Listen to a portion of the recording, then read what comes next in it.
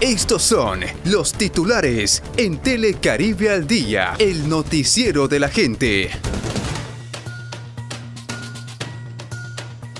FATCANIC entrega título de técnico general en refrigeración y aire acondicionado a siete costeños. 72 trabajadores de la salud muertos por COVID-19 y más de 600 infectados.